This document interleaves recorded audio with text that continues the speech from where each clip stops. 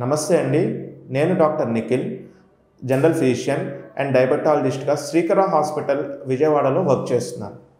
So మనం last time metabolic syndrome గురించి మాట్లాడుకున్నాం. సిమిలర్లీ ఇప్పుడు డయాబెటీస్లో చాలా కాంప్లికేషన్స్ ఉంటాయి. అందులో one of the major complication and life threatening complication of diabetes diabetic ketoacidosis. So జనరల్గా టైప్ వన్ టైప్ టూ డయాబెటీస్లో ఎక్కువ టైప్ వన్ డయాబెటీస్ పేషెంట్స్లో మాత్రమే కనిపిస్తుంది. టైప్ టూ డయాబెటీస్ వాళ్ళలో కూడా రావచ్చు బట్ ఎక్కువ శాతం టైప్ వన్ వాళ్ళలో కనిపిస్తుంది. సో ఈ డయాబెటిక్ కీటోసిడోసిస్ అంటే ఏమిటి?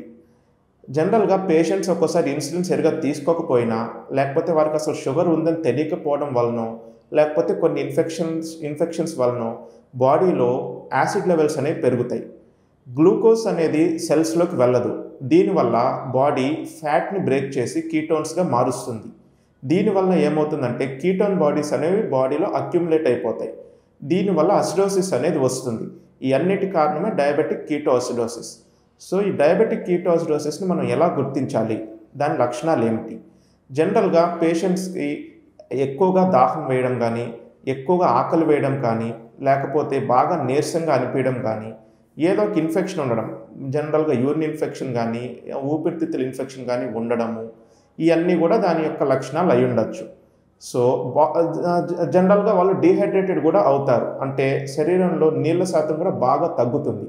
ఒక్కోసారి వాళ్ళ ఆల్టర్డ్ మెంటల్ స్టేటస్ అంటే వాళ్ళ బ్రెయిన్ కూడా సరిగ్గా పనిచేయడం మైల్గా కన్ఫ్యూజన్ ఉండొచ్చు డిసోరియంటేషన్ ఉండొచ్చు ఒక్కోసారి సివియర్ స్టేజెస్లో కోమా వరకు కూడా వెళ్ళొచ్చు.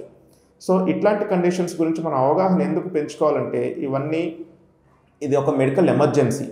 పేషెంట్స్కి కడుపు నొప్పి అనేది కూడా ఉండొచ్చు లక్షణం. సో ఇట్లా ఉన్నప్పుడు జనరల్గా మనం షుగర్ లెవెల్స్ అనేది చెక్ చేసుకొని ఇమ్మీడియట్ మెడికల్ హెల్ప్ అనేది తీసుకోవాలి. ఎందుకంటే ఇది ఈవెన్ ఒక రెండు గంటలు మూడు గంటలు ఆలస్యమైన మనిషి ప్రాణానికి కూడా ప్రమాదం ఉండే అవకాశం ఉంటుంది. సో దీన్ని మనం ఎట్లా ట్రీట్ చేయగలం?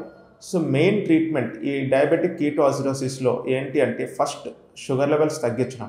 అండ్ దానికన్నా ఇంపార్టెంట్ హైడ్రేషన్ బాడీలో జనరల్గా ఈ డయాబెటిక్ కీటోసిటోసిస్లో మూడు నుంచి నాలుగు లీటర్ల వరకు శరీరంలో నీరు అనేది పోతుంది. సో మెయిన్గా పేషెంట్ని హైడ్రేట్ చేసుకుంటూ ఇన్సులిన్ని ఇన్సులిన్ ఇచ్చుకుంటూ దాని షుగర్ లెవెల్స్ని మనం కంట్రోల్లోకి తెచ్చుకోవడం. ఇది చేయడంతో పాటు దీనికి గల కారణం ఏంటి? అంటే ఏ ఇన్ఫెక్షన్ వల్ల వచ్చింది? దేని వల్ల వచ్చింది అనేది చూసుకొని దానికి కూడా మెయిన్ ట్రీట్మెంట్ మనం ఇవ్వాలి.